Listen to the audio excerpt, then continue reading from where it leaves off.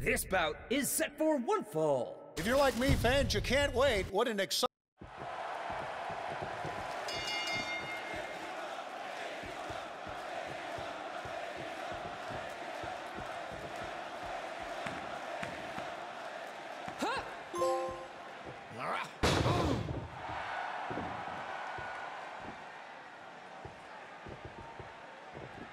Huh?